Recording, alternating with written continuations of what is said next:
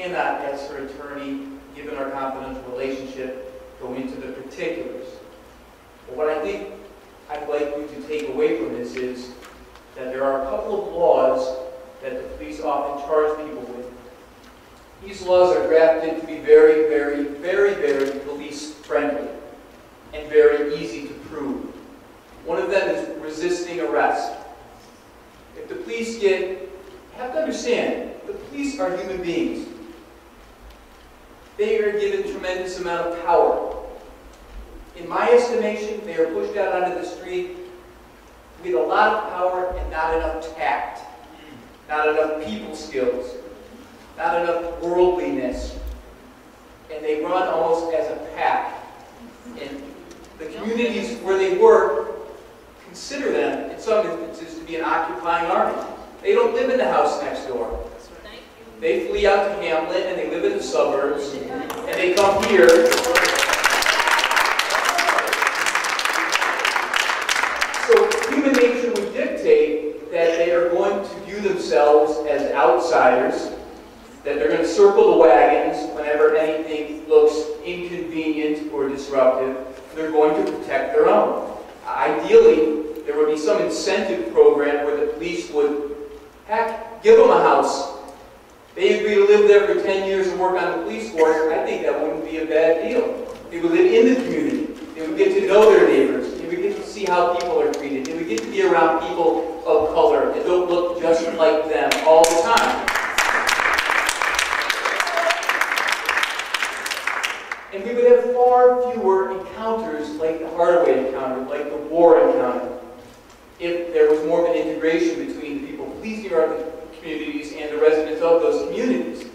You take well-meaning people, human beings, and you put them in a situation where they only are in communities in a pack for limited hours, and they're revved up, and they go out there and they view everyone else as the other, and themselves do-gooders, when there really is a much there isn't the distinction that there should be. There should be far less of a distinction between people that live there and people that come there.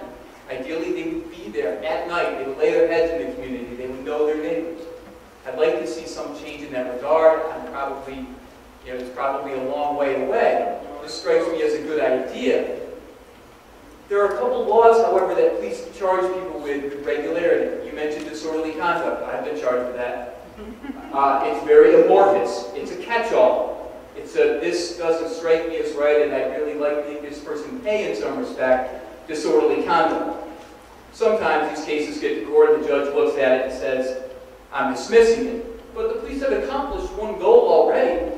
They've arrested you. You've gone to court. You've had, you've been embarrassed. You might have missed work. You might have lost your job or missed a job interview or missed an appointment somewhere. So already a chunk has been taken out of you, even though it was resolved in your favor. The police taught you a lesson, or so they think. There's another statute called resisting arrest. When the police get any pushback, any resistance, any voicing of, I know my rights, that is not something, the police should be receptive to that. If this person says, I know my rights, don't touch me, don't look at my backpack, no you can't search, I don't want to give you my identification. They should be glad. There's a citizen that understands the Constitution. They're charged with enforcing the laws. The Constitution is a law. But they get their back up.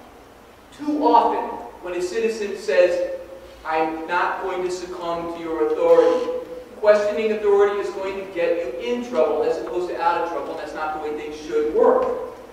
The resisting arrest statute, that's a crime, resisting arrest. Disorderly conduct is a violation. It's like a speeding ticket. Resisting arrest is when the police are trying to arrest you and you resist. It doesn't require you to strike an officer. You can pull away. Hey, what are you doing grabbing me? Class A misdemeanor. Get up to a year in jail on that. All right? Now think about this one. That's a very police-friendly statute. Right? The police have a very powerful union. These unions get together. They go to Albany, they press lawmakers, and the laws come out that are very police-friendly. Right? If you work in a deli and someone assaults you, it's a misdemeanor. If you're a police officer and someone assaults you, it's a Class D felony. They become, through their lobbying efforts, this protected class of extra citizens who, if they get a hangnail, someone's got to pay dearly with a felony record and a prison sentence. Someone in another occupation, well, too bad for them. All the person that assaults them can be prosecuted for is a misdemeanor. This assault second statute is very, very scary. Resisting arrest, like I said, if they're going to arrest you and you offer any resistance, pulling away will do it. We're not talking about getting involved in a big rumble. Assault second degree. The police are performing a lawful arrest for an offense committed in their presence. If it's a little offense, they have to see it. If it's a misdemeanor or above, they can get information from another source and then come and make an arrest. If it's a lawful arrest, and the police officer is, through the person's efforts, injured, it's a Class D felony. The level of injury can be disturbingly petty. It could be a bruise. It can be an injury that no one sees or feels but the officer. The officer looks fine, but can convince a jury that they suffered some pain, Class D felony. You can violate that statute and be convicted of a Class D felony an officer says, stop, I'm arresting you, sir, and you run. And you've got a two-block lead on the officer, and he falls and cuts his knee. Assault second degree. So, Mr. Geiger's words ring true in part to me when he says, don't bother putting up a fight. You will get charged with a felony. They will put you on the defensive. And you'll be prosecuted by the DA's office who carries water to the police at almost every time they can. The police say jump. The prosecutor's office says how high. Mm-hmm. They don't look at this and say, well, I believe the officer was in the wrong, they overreacted. They go to the officer and say, what would you like me to do about this? What offer would you like me to make? How hard should I go after this person? This is what happens down there. I see this and I've seen it for 17 years. So, resistance, I wouldn't recommend it. You're going to feel like you want to. You're going to feel like it's fair. It might be fair. And they might be wrong. But it'll get you a beating. It'll get you chased. It'll get you arrested. It'll get you a felony charge. And they will go after you for that felony charge. Brenda Hardaway is facing seven years in prison. In her trial, they do not need to prove she struck this officer. That law is drafted so police-friendly that all they have to prove is that they were making an authorized arrest and that Brenda Hardaway resisted, and as a result, the officer was hurt. That's all they have to prove. They don't have to prove she intended it. Remember the guy running to block lead? Doesn't have to be intentional. You need the arrest, you need the injury, and that's the end of it. You can get up to seven years in prison for assault second degree. So Mr. Geiger's words, I would pay attention to, you know, there's a portion of them there that I, I can fully get behind. Uh, it is, it's degrading, it's alarming. Many of you had interactions the I was not surprised to learn you know the exact date, time, and place of that. It is not, not a big deal. And it would be sad. I have clients who say, well, yeah, the police just pulled me over and strip me. You know how that goes. How sad is it that it's come to the point where that is something that you can just expect walking down the street in some communities? It's disgusting. I hear it all the time, and you shouldn't be used to that. But the fact that a person's used to it tells you what they've been put through. And it's worse than that. You know, the pulling of the pants down, it happens. I have heard my clients tell me stories for 18 years, thousands and thousands of police encounters. Of course, some are BS. Of course. Of course, some are exaggerations. But there are too many consistent stories for me to dismiss even half of them. You see too many people who don't know each other telling you the different things about the same police force all the time. Same officers. And you will see the same officers' names coming up over and over and over. And I, think I work in an office of a lot of attorneys. And we hear certain officers' names, we roll our eyes, and they keep coming up and up and up. And judges sometimes, it gets to the attention of some judges. And they'll roll their eyes. I don't want them to roll their eyes. I want them to throw cases out, to toss evidence out. I like the police officers, the bad apples. It would be a credit to the police force if they would publicly weed out some bad apples. instead of circling the wagons.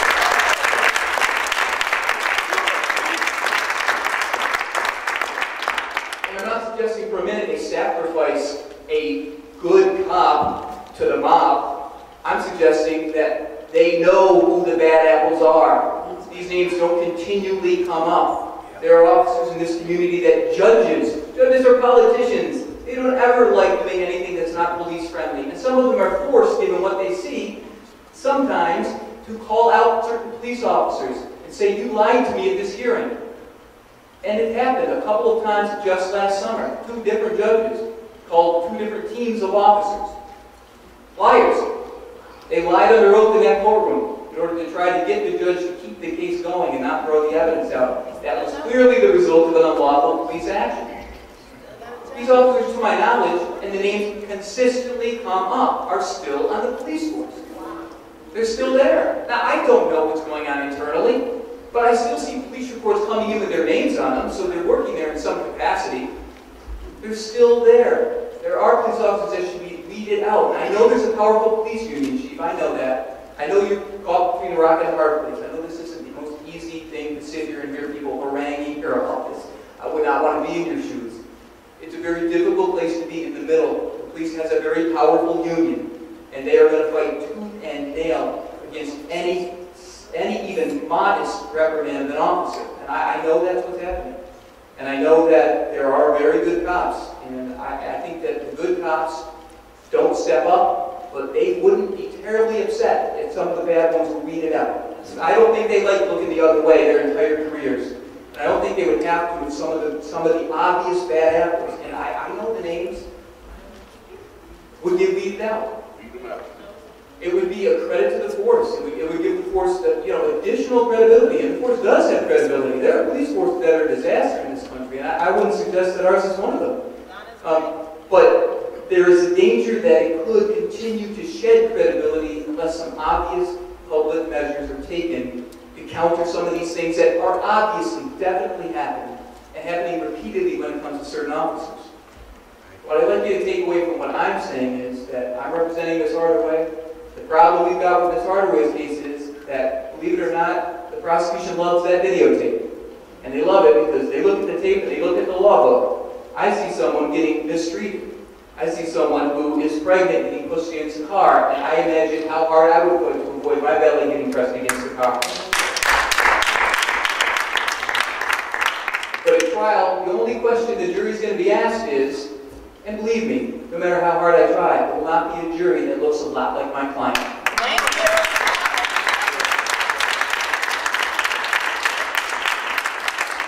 All they're going to be asked is, were they making an authorized arrest, and were they injured during arrest?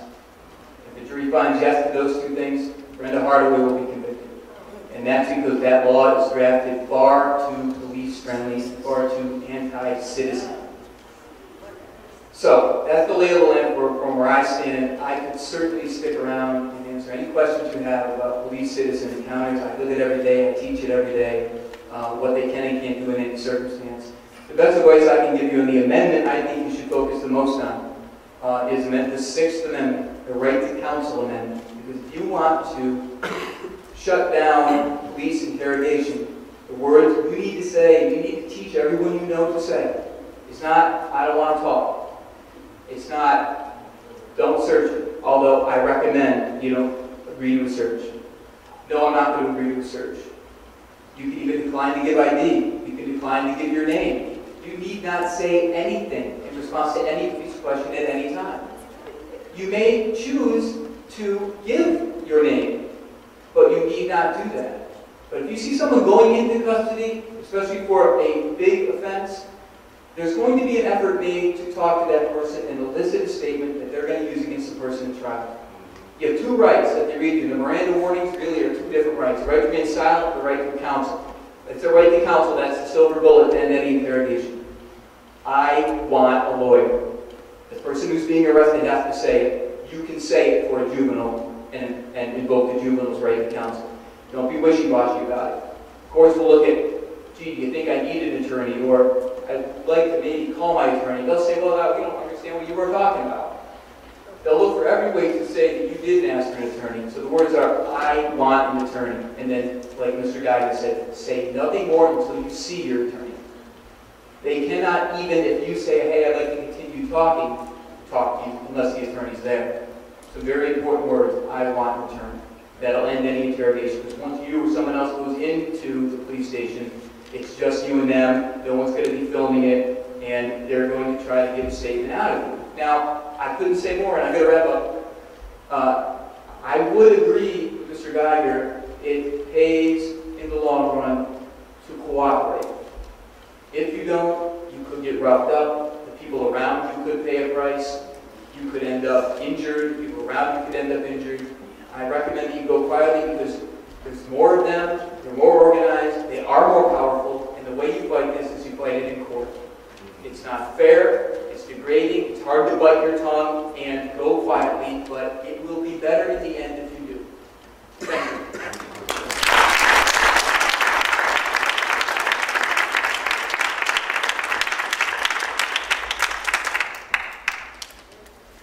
Thank you, Dr. Erik.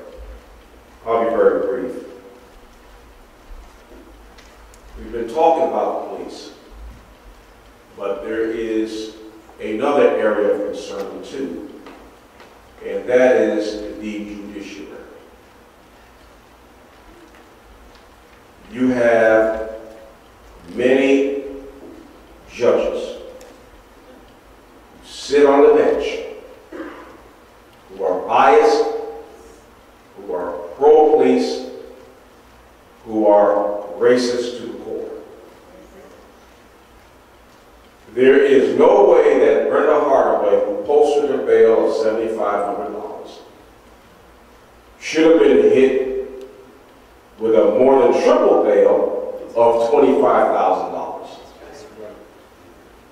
And this was done by Judge Affronti whom previously let an officer go on his own recognizance. And that officer was intoxicated. That officer hit another vehicle with a pregnant woman in it. That same officer then fled the scene of the crime. Then he appeared before Judge Affronti's court, and guess what? Was released on his own recognizance without posting bail at that particular time. Now, Brenda Did none of these things. And yet, her bail was tripled. So I want you to think about the fact that these judges run for election. Do they not? Am I, am I right about that? We need Castro off the bench. Tell you.